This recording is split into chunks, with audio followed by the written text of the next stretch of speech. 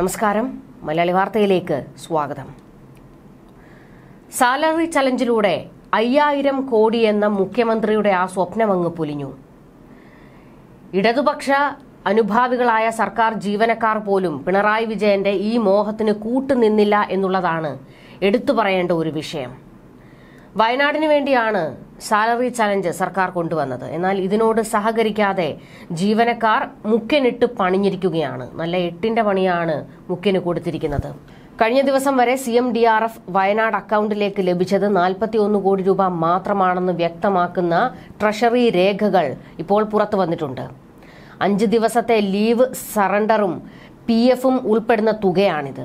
ഈ കണക്ക് നോക്കിയാൽ നാല് ദിവസത്തെ ശമ്പളം സംഭാവനയായി അടുത്ത രണ്ട് മാസങ്ങളിൽ ലഭിച്ചാൽ പോലും ഇരുന്നൂറ് കോടി തികയില്ല.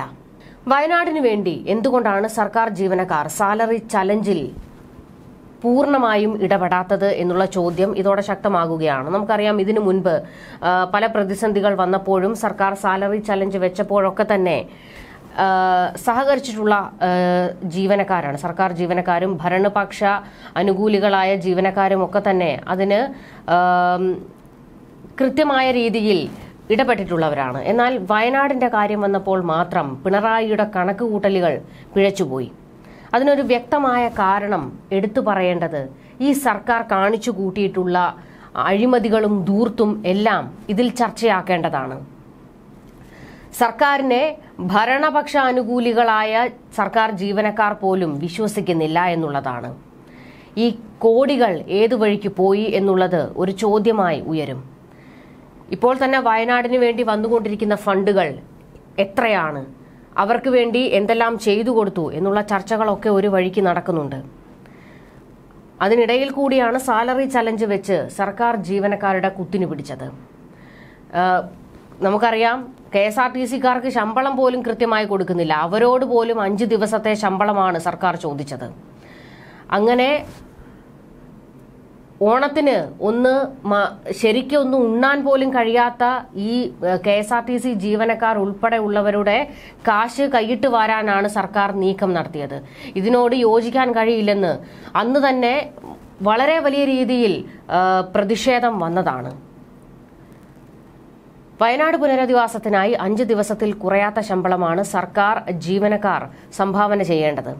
സെപ്റ്റംബറിൽ നൽകുന്ന ഓഗസ്റ്റിലെ ശമ്പളത്തിൽ നിന്ന് ഒരു ദിവസത്തെയും അടുത്ത മാസങ്ങളിൽ രണ്ട് ദിവസത്തെയും ശമ്പളം വീതം പരമാവധി മൂന്ന് ഗഡുക്കളായി പണം നൽകണമെന്നായിരുന്നു നിർദ്ദേശം. ഒന്നോ രണ്ടോ ഗഡുക്കളായി തരാമെന്നും അഞ്ച് ദിവസത്തിൽ കൂടുതലുള്ള ശമ്പളവും നൽകാമെന്നും സർക്കാർ വ്യക്തമാക്കിയിരുന്നു. ഇതിൽ ജീവനക്കാർ ഇത്തവണ തീർത്തും മുഖം തിരിച്ചു. ഇതോടെ അഞ്ഞൂറ് കോടി രൂപ സ്വരൂപിക്കാമെന്ന കണക്കുകൂട്ടൽ ആട്ടപടലം പാളിപ്പോയത്. സാലറി ചലഞ്ചിനായി തുറന്ന C M D R F Wayanad എന്ന ട്രഷറി അക്കൗണ്ടിലേക്ക് ഇതുവരെ കിട്ടിയത് നാൽപ്പത്തി ഒന്ന് കോടി രൂപ മാത്രമാണ്. ലീവ് സറണ്ടർ ചെയ്ത് പണമാക്കാൻ നിലവിൽ സർക്കാർ ജീവനക്കാർക്ക് അനുമതിയില്ല. എന്നാൽ സാലറി ചലഞ്ചിന് ഇളവ് നൽകിയിരുന്നു. സാലറി ചലഞ്ച് അക്കൗണ്ടിലേക്ക് വന്ന പണത്തിന്റെ പട്ടിക നോക്കുമ്പോൾ അധികം ലീവ് സറണ്ടർ പ്രയോജനപ്പെടുത്തിയതായാണ് കാണുന്നത്. ഇങ്ങനെ അഞ്ച് ദിവസത്തെ ശമ്പളം മുഴുവൻ ലീവ് സറണ്ടറായി ഒറ്റ ഗഡുവായി ജീവനക്കാർ അടച്ചു. ഫലത്തിൽ കണക്കിൽ പണം എത്തിയെങ്കിലും അത് സർക്കാരിന്റെ കയ്യിലുള്ള കാശ് തന്നെയായി.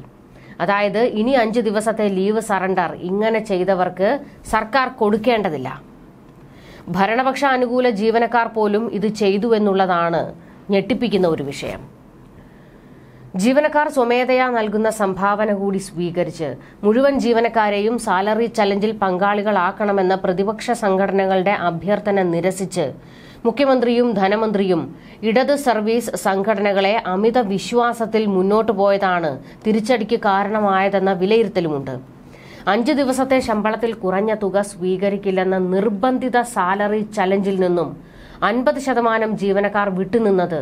ഇടത് സർക്കാരിന്റെ അധിക ധാർഷ്ട്യത്തിനേറ്റ കനത്ത തിരിച്ചടിയാണെന്ന് പ്രതിപക്ഷ ജീവനക്കാരുടെ സംഘടന നേരത്തെ വിശദീകരിച്ചിരുന്നു. സാലറി ചലഞ്ചിൽ സമ്മതപത്രം നൽകാത്തവരിൽ നിന്ന് ശമ്പളം പിടിക്കില്ലെന്ന് വ്യക്തമാക്കി സർക്കാർ നേരത്തെ ഉത്തരവിറക്കിയിരുന്നു. ഇതോടെ സാലറി ചലഞ്ചിന്റെ നിർബന്ധ സ്വഭാവം നഷ്ടമായി.